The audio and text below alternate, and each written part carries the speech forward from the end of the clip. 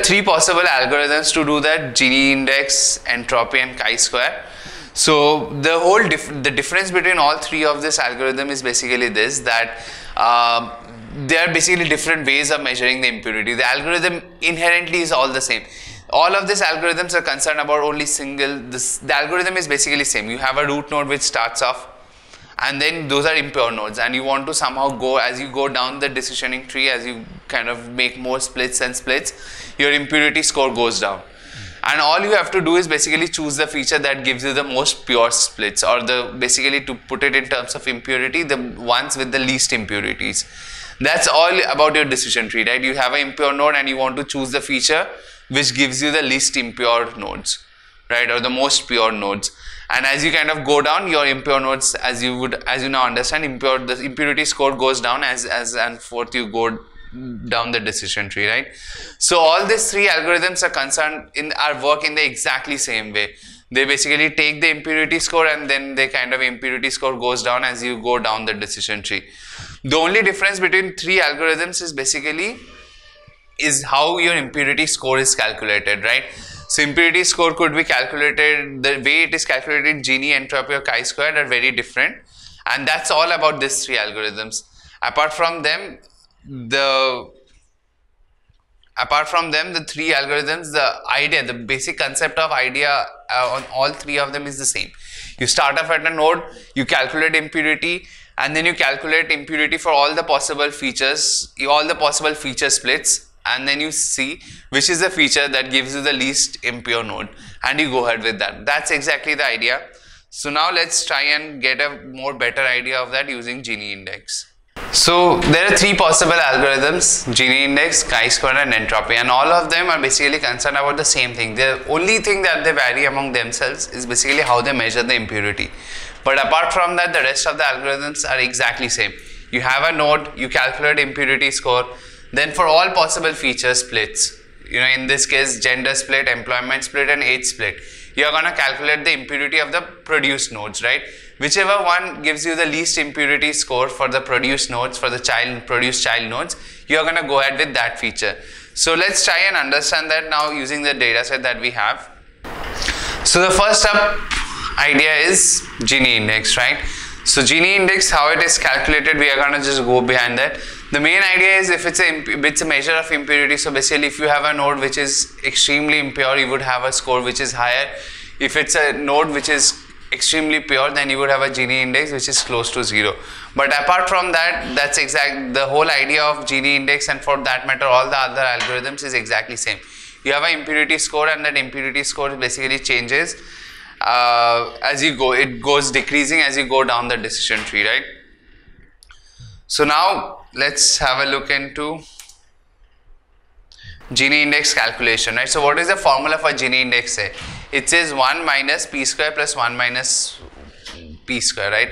Uh, so what what are exactly all of this right this sounds a lot more mathematical and all of this is complex so let's first understand what is p and what is 1 minus p so p is basically the probability of success so in this case what is the probability of success so if i have so this is the initial node and you have split that up such that here you have what is the probability of someone watching a movie? The probability of someone watching a movie was 52% right?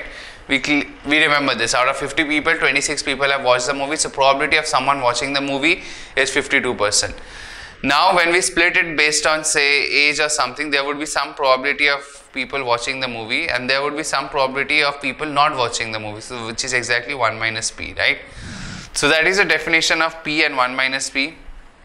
Don't get so confounded by it right now. So let's, when we go ahead and we see more examples, the Gini index calculation would be more apparent to you and then that's when you should be able to appreciate why Gini index is very high for an impure node and Gini index value would be very low for a pure node, right?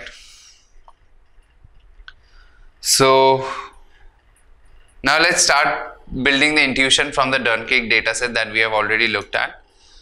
So first let's see how many people. So how many, what is the number of people who have watched the movie is 26. So probability of someone watching a movie who in the root node is 52% and probability of someone not watching the movie is 24 into 2, 48%, right? So now So before we kind of go into looking at what are the different splits possible, so split based on gender, split based on age, and split based on employment, and we calculate the Gini index for each of those splits. Let's first try and calculate the Gini index for the root node. So this is your root node looks like. Here your probability of someone watching the movie is 0.52 probability of someone not watching the movie is 0.48 right? So Gini index for you is 1 minus 0.52 square plus 0.48 square right? So whatever this comes out to be is your Gini index for this original node right? The root. This is a root node Gini index right? So now let's try and take a moment and understand why Gini index is a good measure of impurity. Now let's say you have a node which is completely where your everyone has watched the movie, right? So this root node, or even if it's not a root node, it's a child node or whichever node it is, has the probability where everyone has watched the movie. So probability of someone watching the movie is one. Probability of someone not watching the movie is zero, and then your Gini index is one minus one square plus zero square, right? So Gini index comes out to be zero. So you would be able to now appreciate, do the same thing, right? So if your probability of someone watching a movie is instead of 1 had it been 0, which is basically a node which consists of everyone who has not watched a movie. Also then you would be able to see that Gini index for that node would come out to be 0. Now let's consider a node which is extremely impure, right? So extremely impure as in where it's exact 50-50 split, right? So somewhat similar to the current situation we have. So we have a node where 50% of the people have watched the movie. So what is the probability of someone watching the movie is 0.5 and then other 50% have not watched the movie. So that is an impure node, right? So now you calculate Gini index for them. G equals to 1 minus 0.5 square plus 1 minus 0.5 is 0.5 square, right? So this is 1 minus 0.25 plus 0.25. So this comes out to be 0.5. So for an extremely impure node, Gini index value comes out to be 0.5, whereas for an extremely pure node, it comes out to be 0. So you can eh, you're, so now you're able to appreciate this fact that if it's an extremely impure node, the Gini index would be higher. If it's a very pure node or close to pure node, the Gini index value would be lower. So now you have that intuition. So now let's do the exact mathematical calculation behind all of the possible splits and then we'll take a call based on those answers which is a which is the feature that we want to split on right? So the first up feature that we want to check is gender right? So in gender as i've explained you there are 22 males and 28 females. Out of those 22 sorry there are 28 males and 22 females. Out of 28 males 12 people have watched the movie. So probability of someone watching the movie is roughly around 42 percent and among females 14 out of 22 people have watched the movie so that's roughly around 63% so now let's calculate the probability. So probability of a female who has what is the probability that someone is a female and has watched the movie?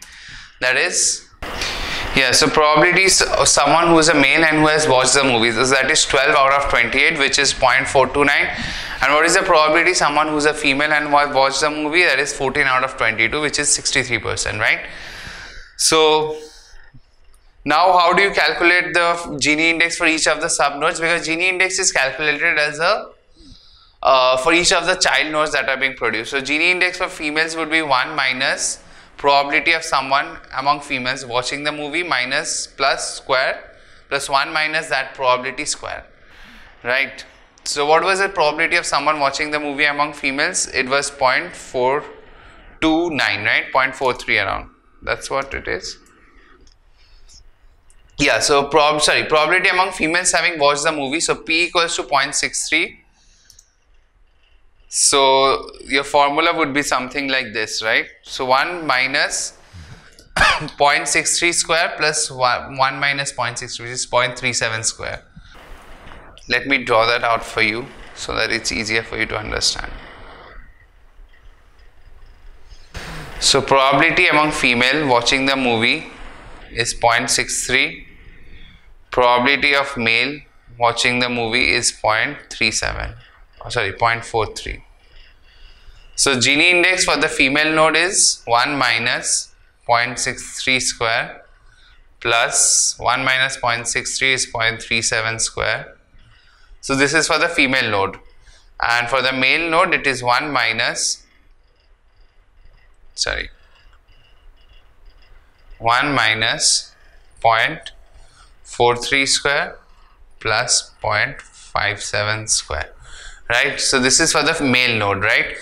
So this is basically derived from the fact that Gini index value is 1 minus p square plus 1 minus p square.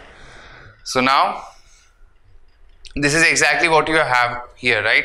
So Gini index for the female node is 0.463 and Gini index for the male node is 0.490. As you can see, the male node is more impure and the female node is less impure because the female node consists of 63% of people who watch the movie. 63-37 is obviously a better split than 43 57 right? That's what we have for the male node. So female node is obviously better you know separated into ones and zeros rather than the male node and that's why you see the impurity score here being much lower. So now how do you calculate the Gini index for a feature split right? Because the feature gives you two possible nodes male and female. Somehow you have to combine this right? To get what is the final Gini index for a gender split right? So all you're gonna do is combine them and then basically see in the same way, you combine the splits for age, employment and see which is the one that gives you the least impure nodes, right? So in case you have two nodes, one is 0.463, one is 0.490, obviously 0.463 is less impure, 0.49 is much more impure. So but we somehow have to combine them, right? Because these are two nodes and we have to somehow, somehow combine what is the final uh, final Gini index for the gender split, right? So how do you calculate is basically combine them using weighted average. So the weights being the total number of population in them. Mm-hmm. So in this case we have total number of males as 28. So 28 by 50 into Gini index of male which is 0.490 plus 22 by 50 into Gini index of females which is 0.46. So this is what you get 28 by 50 into the male Gini index score plus 26 22 by 50 into the Gini index of the female node. So the final weighted Gini index for gender is 0.4779. So now we'll now do this exact same calculation based on employment and the whole idea to do this is if employment gives me a final Gini number value, Gini index value for the entire split as a lower number than what we have for gender, which is 0.4779. If the employment number is lower than 0.4779, we decide to go ahead with split with employment, right, as opposed to gender. But if the employment number is higher than what you have for gender, then you decide to go ahead with split with gender because then what it means is gender gives you much more purer splits than employment. Employment gives you probably much more impure splits. Whichever gives you the higher higher Gini index value that is the feature split which gives you more impure nodes. You don't want to go ahead with that. You want to go ahead with the feature that gives you the lesser impurity score which is lesser Gini index value right? So Gini index for gender is 0.48 let's see what is the employment split. If you do split based on employment what does that Gini index come out to be so you have the same calculation. So you have 9 people and you have 20, 41 people in one group. So out of 9 people, 4 people have watched the movie and out of 41 people, 22 people have watched the movie. So probability of who have people who have watched the movie yes is out of so this is for working professional. Out of working professionals, we know out of 41 people, 22 people have watched the movie. So out of students, four people have watched the movie. So that is roughly the probability distributions looks like this, right? 0.44 and 0.537. So now what is the Gini index for the working node? The Gini index for the working node is people who have watched, who, have, who are working and have watched it. So that probability is 0.537. 0.537. So you put in, plug in the value 0.537 here. So 1 minus 0.53 square plus 1 minus 0.53 which is 0.47 square. And you do the same thing for students as well. So student the population the, the split the probability of someone watching the movie was 0.47 I guess so 1 minus 0.47 square plus whatever that comes out to be. So Gini index for students and Gini index for working are 0.494 and 0.497. Hmm. Now you can clearly see that both the nodes are almost impure, right? The most impure node can have a Gini index of 0.5 value and here both the nodes are almost as good as impure, right? Because their student has a 0.494 and 0.497. So which is basically to say all of both the nodes are 50-50 splits. And this is something we have already seen earlier, right? When we did the tabulation of all the possible splits, we saw that employment was not a good option because it had a very close to 50-50 splits in both the cases, both the nodes. And that's exactly what you see as quantified here.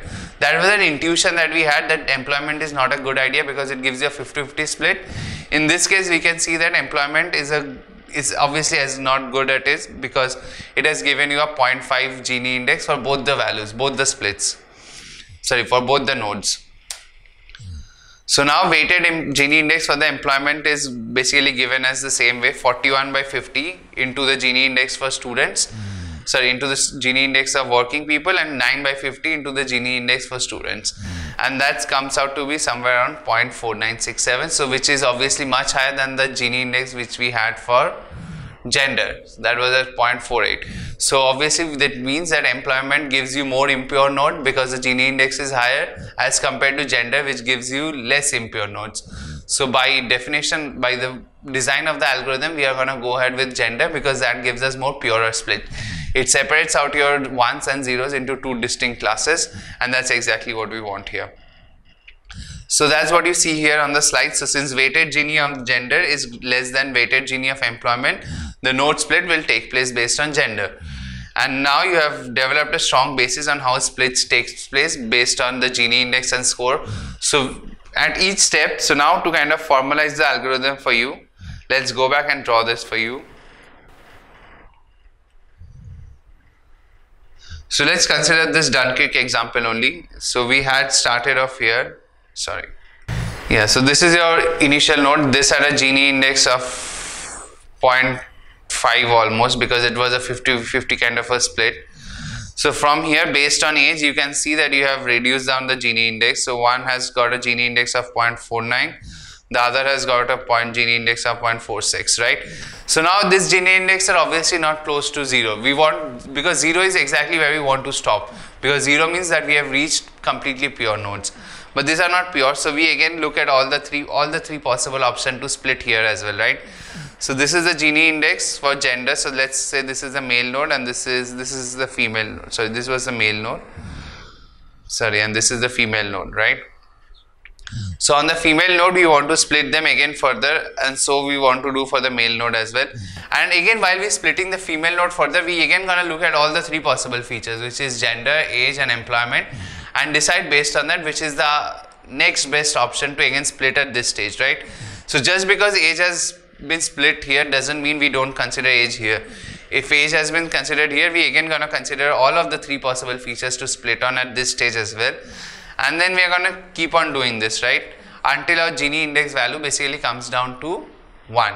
Sorry, it comes down to 0 because 0 is basically the point where we say that we have reached a completely pure node. It could be of people who have either watched the movie or it is basically people who have not watched the movie. But if you keep on doing this iteratively, at each step you're going to consider all the three possible splits. And for all the three possible splits, you're going to consider the Gini index. And then you're going to see which is the split which gives you the least possible Gini index. And based on that, you kind of take the call of which is the feature you want to go ahead and split with. So obviously good for you is that for most of the algorithms that we have discussed and uh, we have talked about, uh, Scikit offers you an API for doing all of this. It's not like you have to calculate all of this at every step of every node of the calculation. You can easily skip all of this. Uh, but obviously, as I have always been talking about in the lectures and here as well, it's easy to kind of you know just go back to Scikit and just put this as an API and just go ahead with it without learning and without understanding all of this. But understanding this is extremely critical because sometimes when your algorithms don't work you kind of want to go back and debug them right? And if you don't know exactly how a Gini index works it would be extremely impossible for you to kind of debug why your algorithm is not performing as you expect it to be so don't don't don't don't don't rely on the fact that scikit offers you an api for doing all of this without you calculate needing to calculate all of this. Uh, that is good that is convenient but that doesn't mean you can skip the part about understanding Gini index. And frankly this is all simple science. This is not as complicated as a linear regression or anything you have got an algorithm which measures measures an impurity split and at every step you're going to measure the possible feature all possible feature you're going to consider. You're going to consider which is the feature that gives you the least Gini index of the child nodes and you're going to go ahead with that feature right? That's very intuitive. So now we are going to cover chi-square index. So obviously you can want to probably take a minute and understand about how you would calculate the Gini index if the split had been done by age, right? For age, there were two possible again values, splits possible 28 plus or 28 minus. So for each of those values, you want to calculate what is the probability of someone watching the movie and then plugging in the probability of someone watching the movie if someone is 28 plus what is the probability of someone watching the movie if someone is not 28 plus and then plug that formula into the Gini index and see what is the Gini index that you come up for the age wise split right? And then see if age is the thing eh, do you want to split or based on age versus do you want to split on gender right? If age gives you a Gini index value of value lower than 0.48 right 0.4779 that's what we had for Gini index split based on gender. So if age gives you a split which has lower impurity which basically means lower Gini index value than 0.4779 then you would want to go ahead and split based on age. Whereas if age gives you some Gini index value which is greater than 0.4779 you would want to still go ahead and split based on gender right? Log on to GreyAtom's learning platform to unlock more free content. Subscribe to our channel and hit the bell icon for regular updates.